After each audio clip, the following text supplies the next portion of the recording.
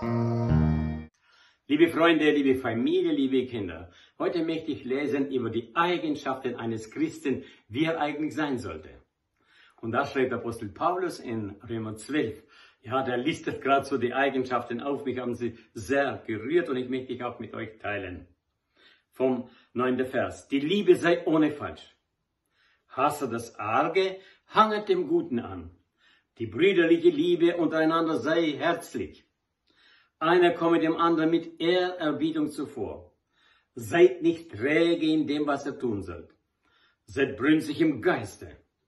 Schicket euch in die Zeit.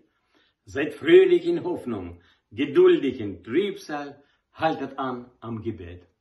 Wunderbare Eigenschaften, wenn ein Mensch dieses alles so hat. Die Liebe sei ohne falsch.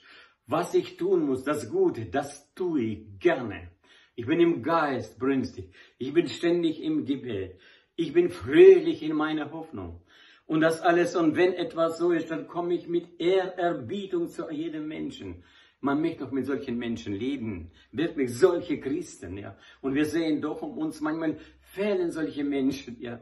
Und dann möchte man, Gott, gib doch diese Eigenschaften, helft doch mit deiner Liebe auch so weiterleben. Aber es geht weiter.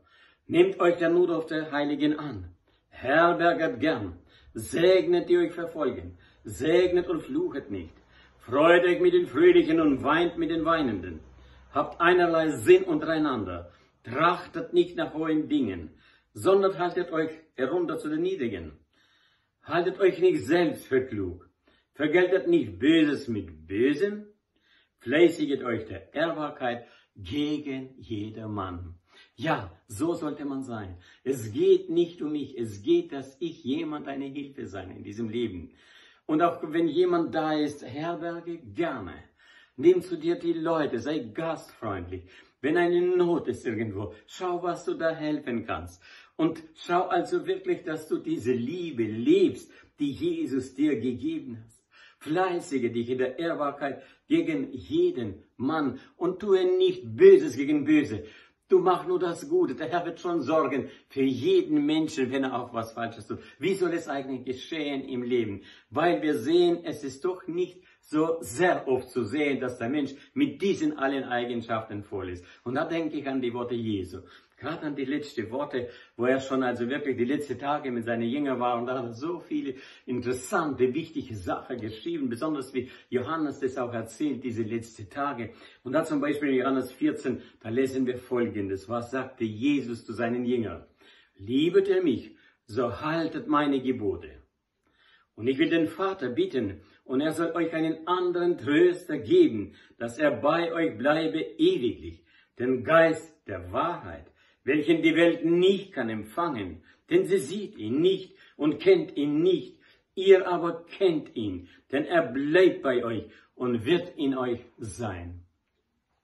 Ganz interessantes Wort. Jesus sagt, ich gehe, ja. Aber er macht sich Gedanken, wie sollen die Christen weiterleben? Wie sollen sie wirklich zu diesem Bild werden, zu diesem wunderbaren Bild von einem Christ, so wie Paulus es auch hier so schön sagt. Er sagt, der Heilige Geist kommt. Und der Heilige Geist wird euch trösten. Wisst ihr, wie es wichtig ist, manchmal getröstet zu sein? Du machst und tust und irgendwie weißt gar nicht, wie weiter. Und dann in dir ist dieser Heilige Geist, der dich tröstet und sagt, super, das geht weiter. Du wirst mal Jesus sehen, nicht nur so im Gebet oder so, aber auch vor Augen. Richtig. Jesus, der, der hier war auf der Erde, der für die Menschen gestorben ist, du wirst mit ihm ewig leben. Und auch ein, einen anderen Trost, dieser Trost. Und er sagt, dieser äh, Heilige Geist, den kennen, bekommen nur die Gläubigen an Jesus. Die Welt kann es nicht, die Welt, die Jesus nicht angenommen hat, die ihn sogar ans Kreuz genagelt hat, die kann ihn nicht annehmen. Sie glaubt ja nicht an ihn, dass er gestorben ist, dass er für die Menschen gestorben ist, dass er für sie alle Sünden trägt, dass er auferstanden ist. Die glauben an das gar nicht. Die können ihn auch nicht aufnehmen. Aber die wirklich glauben, der wird auch nicht nur mit ihnen sein, aber sogar in ihnen sein. Und das ist so wunderbar. Und wenn man diese Kraft des Heiligen Geistes im Leben hat, dann kann man auch das Bild, das ihr so wunderbar von diesem Menschen in Christus beschrieben ist, auch wirklich leben. Möge der Herr uns dazu Gnade geben und wirklich nicht sagen, das ist für jemand anders. Nein, es ist für dich. Und wie schön ist, wenn die Liebe ohne falsch ist. Wie schön, wenn jemand dem Gutem anhängt.